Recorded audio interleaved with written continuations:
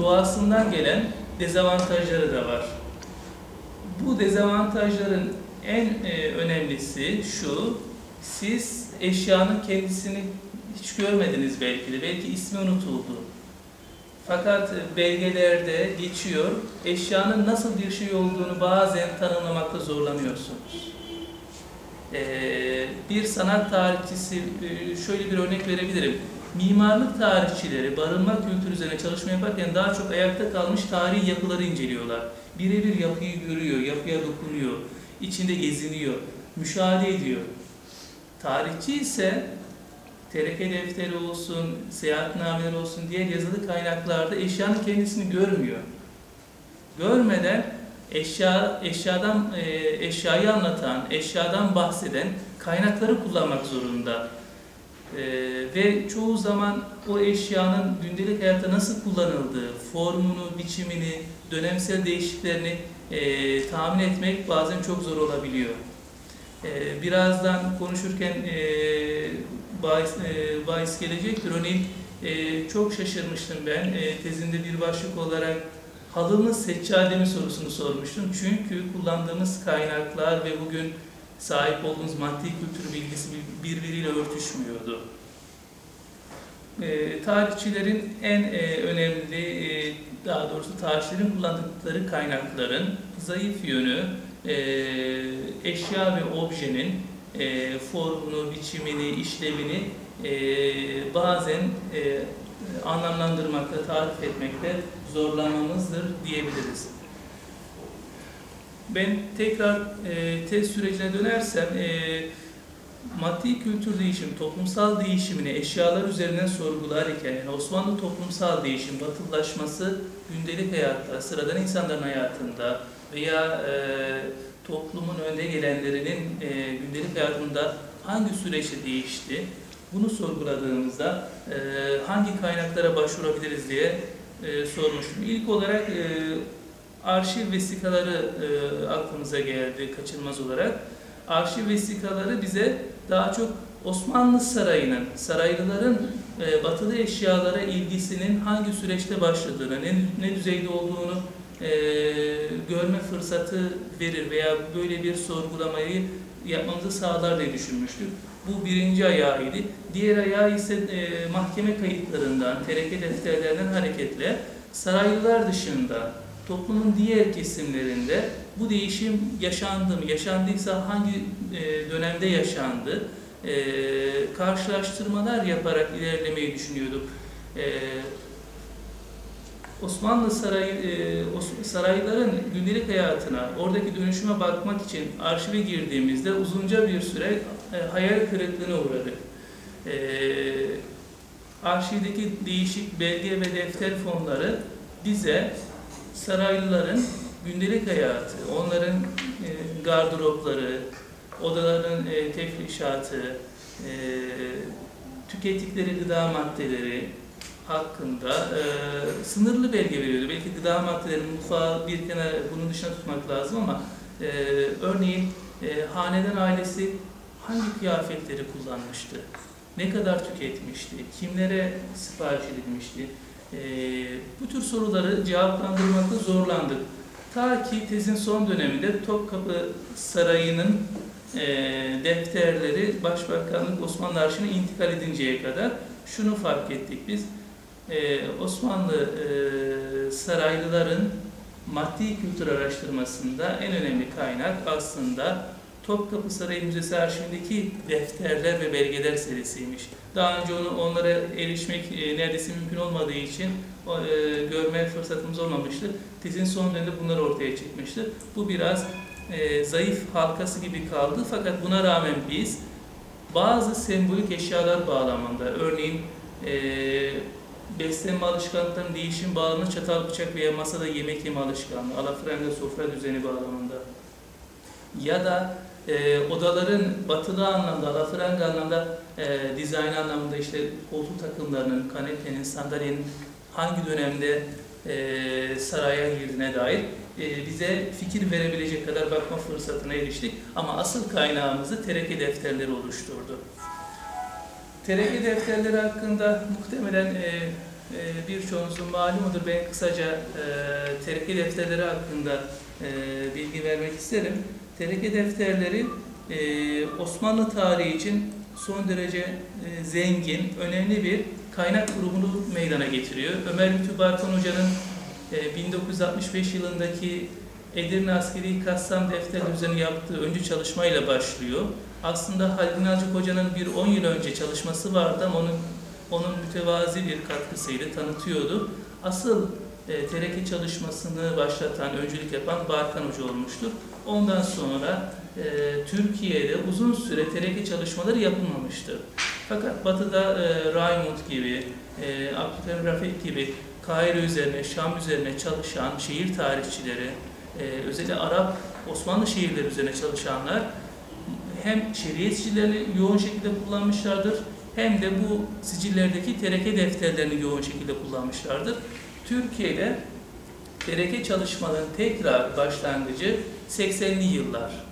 Ee, Hüseyin Özder Bursa tereke defterleri üzerine, daha sonra Sait Öztürk İstanbul tereke defterleri üzerine doktora çalışmaları daha sonra kitaplaşacaktır.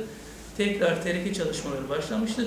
Son e, 80'li yıllardan sonra sürekli artan bir e, yayın sayısı vardır tereke çalışmaları bağlamda. Tereke defterleri e, bize ölen kişinin geride bıraktığı malların dökümünü veren liste. Yani kişi öldüğü zaman onun miras paylaşımı mahkemeye e, geldiğinde gelirse e, varislere haklarını teslim etmek üzere kişinin öldüğünde sahip olduğu şahsi mülklerin dökümü. Kelime anlamı olarak yani terk, terk etmekten mi? ne? Evet, e, aynı kökten geliyor. Yani geride kalanlara terk edilen e, malların dökümü olarak da anlaşılabilir. E, Osmanlı uygulamasına baktığımızda e, tereke, e, tereke tutulması belli şartlara bağlanmış durumda. Barkan Hoca da çalışmasında bu şartlardan bahsediyordu. Herkesin tereke defteri tutulmuyor. Yani her ölümden sonra tereke defteri tutulmamıştır. Ee, Şevket Pamuk Hoca bir çalışmasında ne kadar tutuluyor diye soruyor. Yani ölen kişilerin yüzde onu mu, yüzde yirmisi mi kayda giriyordu? Fakat o soruyu yanıtlamak e, şimdilik mümkün değil. Belki hiçbir zaman mümkün olmayacak. Çünkü öncelikle e, ölen kişilerin sayısını veren demografik verilerimiz yok. Nasıl karşılaştırma yapacağız? Tereke defterleri ne zaman tutuluyordu sorusunun cevabını araştırmacılar e, farklı e, görüşlerle açık, açıklıyorlar, açıklamaya çalışıyorlar. Örneğin e, miras kavgası var ise mahkemeye geliyordur. Örneğin devletin hakkı var ise, Beytülmal'a intikal edecek bir pay var ise mahkemeye geliyordur. E, mirasçılar arasında küçük, reşit olmayan e, mirasçılar var ise veya reşit olmayanlar dışında e, rüşt sahibi olmayan, ki akıl sağlığı yerinde değil, kendi mallarını idare edemeyecek durumda bunların haklarının korunması için mirasın mahkemeye gelmesi gerekirdi. Osmanlılar e, erken dönemden itibaren kanunnamelerde şöyle bir tasnife gidiyorlardı. Tariri mucib yani yazılması gerekli terekeler diye bir grubu meydana getiriyordu. Bir de tariri mucib olmayan terekeler. Tarihi mucib olmayanlar ancak varislerin talebiyle kayda girebilirdi.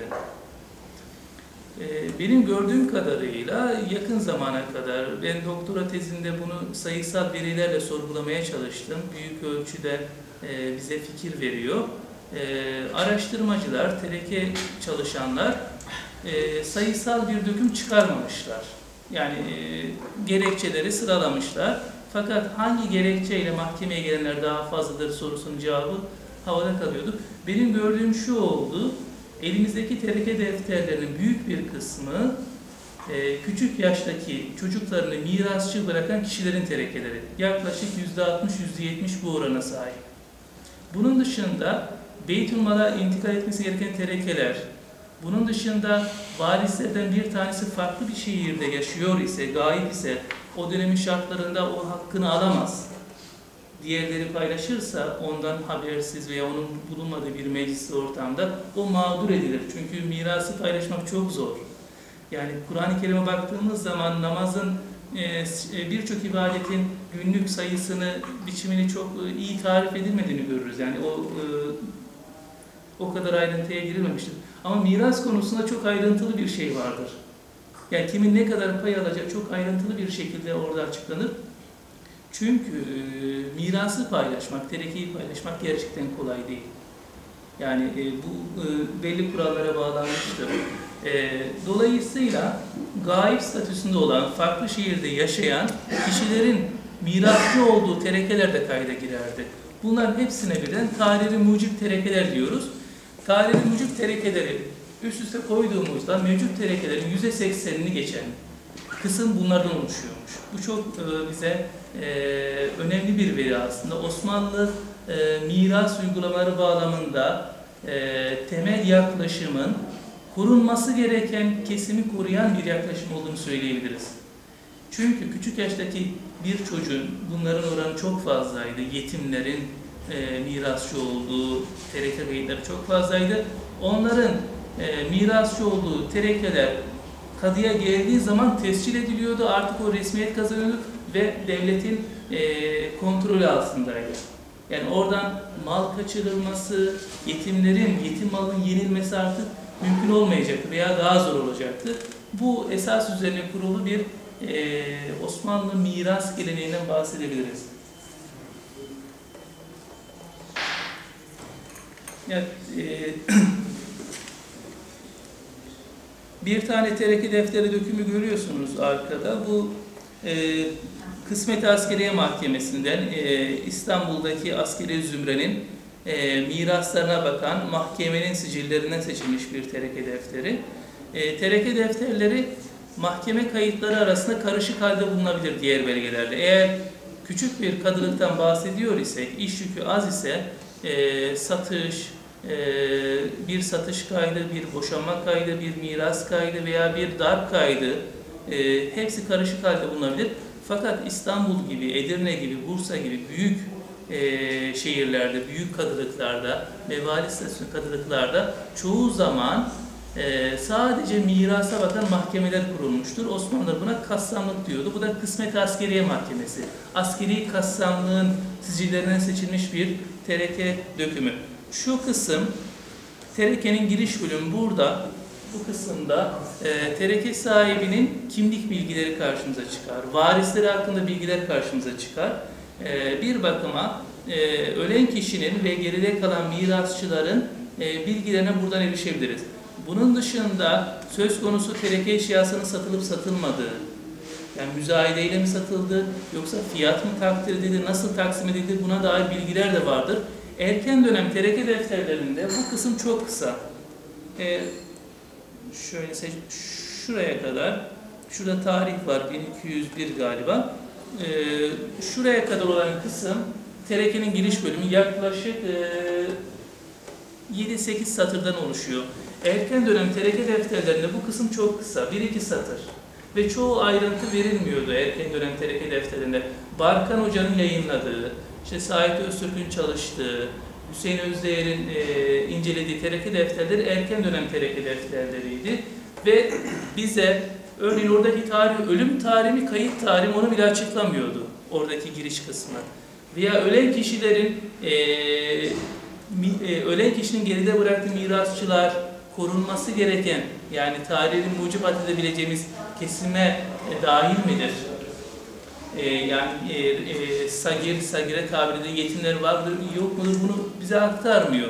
Gayb, gaybı var mı aktarmıyor. Dolayısıyla Barkan Hoca'nın ve e, diğer erken tarih tereke defteri çalışanların birçok e, soruya vereceği cevaplar hep şey kalmıştır. Biraz e, karinelerden hareketle tahminler yürütmüşlerdir. Örneğin tereke fiyatları gerçek fiyat mıdır, piyasa fiyatı mıdır yoksa e, tahmini rakam fiyatlar mıdır? Bu açıklanmadığı için e, söz konusu fiyatların tahmini fiyat olacağına dair kesin bir kanaat vardır. Hatta bazı çalışmalar, sonraki çalışmalar Barkan Hoca'nın etkisi o kadar kuvvetlidir ki kullandığı tereke defterinde e, badel müzayede satılan diyor. Müzayedeyle satılmış. Ama araştırmacı diyor ki tahmini fiyatlardır bunlar diyor. Burada şöyle şöyle oyunlar oynanabilir diyor. İşte ya kadılar yüksek fiyat takdir eder daha fazla e, vergi almak için veya varisler daha az vergi vermek için bazı malları saklar. Böyle oyunlardan bahsediliyor. Ama aslında tereke defterinde müzayedeyle satıldığı yazıyor. E, erken dönem tereke defterlerinde ulaşamadığımız birçok bilgiye biz zamanla ulaşıyoruz. Tereke defterlerinde diplomatik olarak dönemsel bir değişim geçirdiği, bu giriş bölümünün uzadığı, daha önce haberdar olmadığımız birçok bilgiyi tereke katiplerinin aktarmaya başladığını söyleyebiliriz. E, tereke defterin giriş bölümünden sonra şu e, gördüğümüz uzun bölüm terekenin envanter kısmı, ölen kişinin geride bıraktığı malların dökümü. Burada her türlü malı görebilirsiniz. Şu kadarını söyleyeyim. Kırık bir ayna bura girer. Kırık bir ayna. Veya eski bir gömlek. Bugünkü rakamlarla belki e, kayda değer bulmayacağınız kadar e, değersiz, maddi anlamda değersiz eşyanın kayda girdiğini görüyoruz.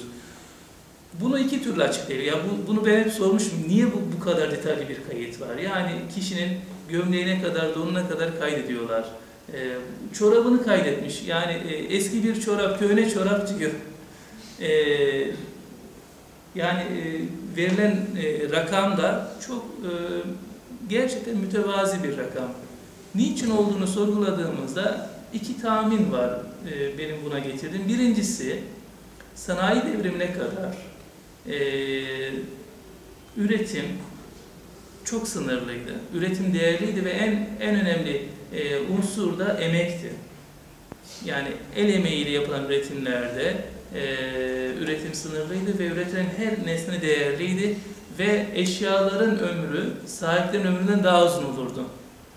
E, Birçok şeyde görebiliriz. Yani bu e, terekeden mal alan bit pazarı esnafı vardır. E, oturakçı esnafı vardır, e, koltukçu esnafı vardır. Bunları görmeye başladık inceledikçe.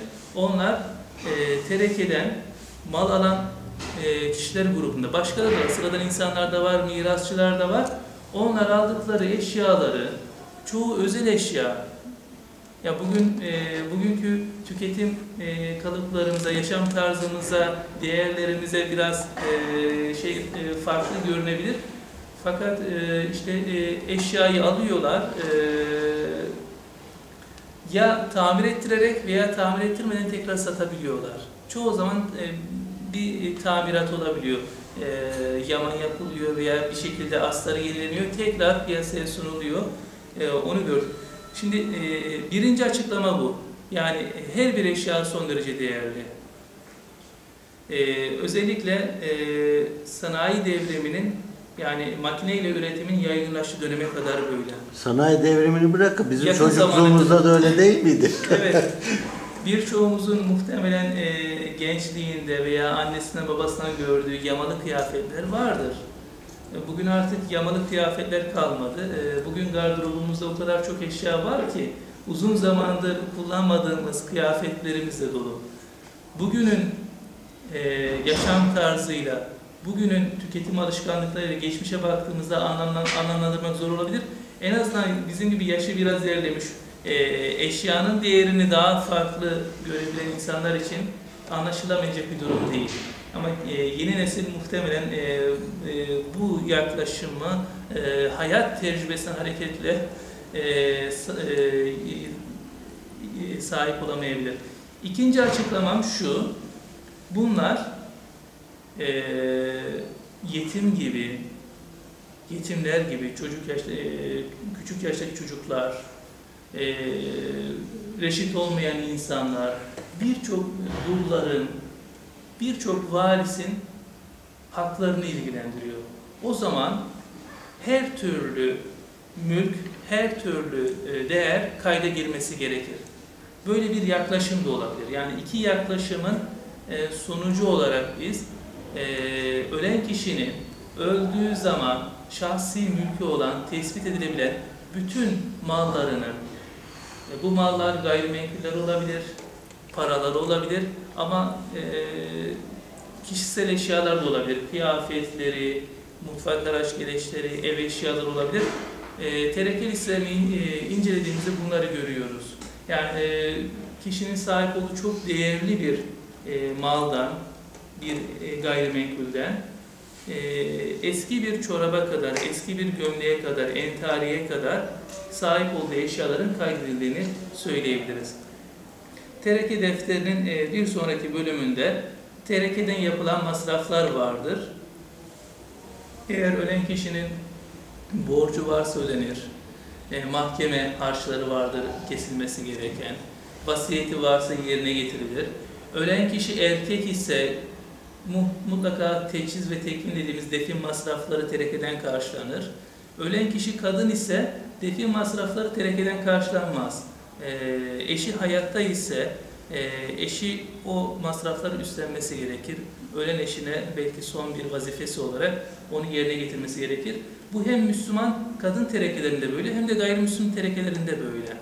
Ee, kadın terekeleri, terekeleriyle erkek terekelerini ayırt eden bu masraf kısmındaki bu ayrıntı e, bence önemli. Osmanlı toplumunun e, aile kurumuna e, ve eşlere yüklediği ödevlere dair e, bize bir e, önemli bir bilgi sunuyor.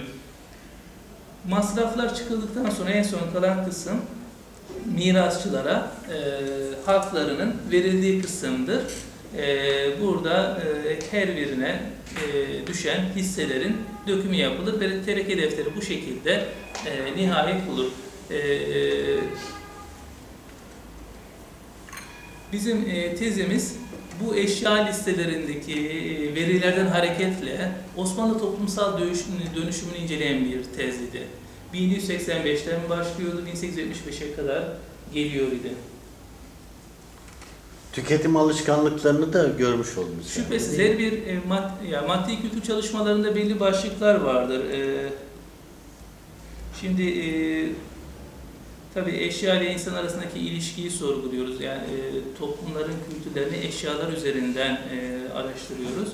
E, şu son başlık e, tüketim, tüketim çalışmaları diye bir alt disiplin oluştu. Bu alana giriyor. Bu alana giren çalışmalar var yaşam tarzı, life stil, evet e, bu e, alan, e, bu tür çalışmalar da e, bu tür veriler üzerinden yapılabiliyor. Toplumsal gruplar ve sosyal değişimi de biz e, terekeler üzerinden ve bu tür veriler üzerinden ele almamız mümkün. E, tereke defterleri üzerinden biz e, bazı sorular e, geliştirmiştik. Şimdi bu maddi kültür araçlarının hareketle Osmanlı toplumsal değişimin, batılaşmanın kronolojisi çıkarılabilir mi? Eğer böyle bir kronoloji elde ediliyorsa ne zaman başlıyor? Bu değişimin hızlandığı dönem var mı? Ne zaman gündelik hayatta yaygınlaşma, görünürlük kazanma söz konusudur? Bu önemli. Osmanlı toplumun farklı kesimleri arasında karşılaştırma yapılabilir mi? Biz İstanbul'u ele alıyoruz şüphesiz. Bütün değerlendirmelerimizi bu çerçevede düşünmekte fayda var. Bazen farklı şehirlere bakacağım e, sırası gelirse bazı önemli eşyalarda, batılı eşyalarda. E, fakat İstanbul başkente de e, yönetici sınıf var, varlıklı statü sahibi kesim var. Ama sıradan insanlar da var, esnaf da var, esnafın terekeleri de var. Bunun dışında erkeklerin olduğu kadar kadın terekeleri de var. En önemli ayrım bence e, çok isabetli olmuş gayrimüslim terekeleri var.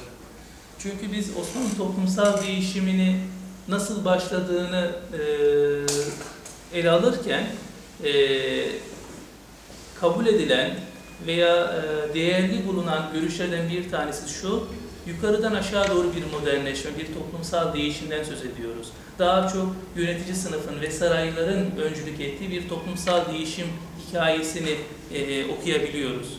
Bu böyle miydi? Bunu da sorgulamak lazım. Ülema ve ülema dışı yöneticiler arasında bir farklılık var mı? Buna da bak, bakma imkanı veriyor. E, fakat en önemli ayrım, e, birazdan üzerinde duracağız, Müslüman ve gayrimüslim kimlikler üzerinden okunabiliyor. E, bu çok açık bir şekilde Osmanlı toplumsal değişimini biz e, Müslüman ve gayrimüslim kimlikler arasındaki e, farklılaşmanın önemli bir aracı gibi de görebiliriz. E, ve incelenen dönemde işte kabaca 18. yüzyılın son çeyreğinden başlıyor, 19. yüzyılın son çeyreğine uzanan bir dönemden bahsediyoruz. Osmanlı maddi kültürün süreklilik ve değişim bağlamında dikkat çeken özellikleri nelerdir? Bu e, bu bağlamda devam eden bir çalışmaydı, e, devam ettirilmiş bir çalışmaydı bizimkisi ve e, şunu fark ettik, e, biraz e, insicam bozulduğunu bilmiyorum, inşallah keyiflidir izlemesi.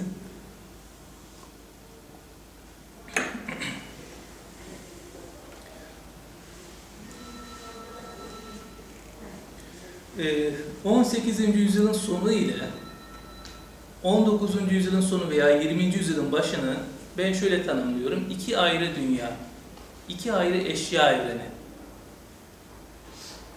19. yüzyıl birçok alanda olduğu gibi e, Osmanlı maddi kültüründe de değişimin yaşandığı, çok hızlı yaşandığı bir dönem olmuş. Bunu çok rahat e, söyleyebiliriz. Şunu da fark edebiliriz mi hocam? Mesela İstanbul'u incelediniz ama Pera ile Eyüp, Üsküdar'la Fatih arasında büyük farklılıklar var mı? Bunu görebilecek enstrümanlarınız var mıydı elinizde? Yoksa İstanbul olarak homojen mi kabul ettiniz? Ben e, örneklemlerimi seçerken e, farklı toplumsal kesimlerden e, örnekler aldım. Bunlardan bir tanesi de Suriçi, Eyüp, Üsküdar ve Galata'ydı. E, dolayısıyla tereke defterleri bize bu tür e, şehir içerisinde farklı e, alanların karşılaştırmasını da sağlayabilecek veriler. Fakat benim gördüğüm en dikkat çekici farklılık Müslüman ve gayrimüslim kimlikler üzerinden okunabiliyordu. Ee, şimdi burada e, e, birazdan bu Müslüman ve gayrimüslim arasındaki farklılıklara, karşılaştırmalara yer vereceğim. Ee, şuna e, e, şuna değinmek istiyorum. E, bu iki farklı eşya evreni var. Yani 18. yüzyılın sonundaki maddi kültür araçları ile yaşam tarzı ile 20. yüzyılın başında İstanbul'da büyük ölçüde değişmiş. Bu değişimi e, birçok alanda görebiliyoruz. Örneğin gardıroplar değişmiş. Artık e, alafranga tabir ettiğimiz kıyafetler sıradanlaşmış. E, oturma grupları evin içerisine girmiş. Geleneksel e, Osmanlı ev eşyaları yavaş yavaş sayısal olarak azalmış e, ve bir süre sonra ortadan kalkmış. E, yeni eşyalar girmiş. Bu e, değişim e, özel e, bu değişim e, gözle görülebilir bir değişim. Bu değişimi hızlandıran, bu değişimi daha etkili hale getiren farklı bir e, etkili e, dinamikten de bahsedebiliriz. O da 19. yüzyılın ortaya çıkardığı yeni teknolojik aletler. Örneğin e, soba eve girmiş. Sobayı e, çatal bıçaktan ayrı bir yere koymak istiyorum. E, daha işlevsel, daha böyle e, bagajı e, medeni, e, medeniyet anlamında e, e, çok dolu olmayan bir şey. Yani insanların gündelik hayatını devam ettirirken kullanabileceği bir teknolojik alet e, gaz lambasına benzetebiliriz. Gaz lambası, soba Osmanlıların gündelik hayatına 19. yüzyılın ortalarında giriyor. Daha önce e, şamdanların, mumların kullanıldığı bir aydınlatma teknolojisi vardı. Yetersizdi sonrakine göre. E, veya e, sobanın yerine ısınmak için mangalları kullanıyorlardı. Yani her terekede gördüğümüz e, eşyaların başında mangallar geliyor, şamdanlar geliyor. Çatalların başında. Çatal e, çok önemli bir e, eşya. E, çatal tek başına Osmanlı besleme kültürünün değişimini bize sunabiliyor. Çatal ilk defa e, terekelerde görmeden önce e, Baron de Tot'un anılarından okumuştum ben. 1750'li yılları anlatıyor. E, Rum baş tercümanın hanımı ziyafet veriyor bunların onuruna. Ve Baron de Tot şu- şöyle anlatıyor. Buradaki Rumlar, Ermeniler, daha çok Rumları kastediyor. Türkler gibi, Müslümanlar gibi yaşıyor. Fakat yakın dönemde değişmeye başlamışlar, bize özeniyorlar. İşte e, alafranga e, sofra kuruyorlar. E, verilen ziyafette alafranga usuldeymiş. Bir tane Rum kadını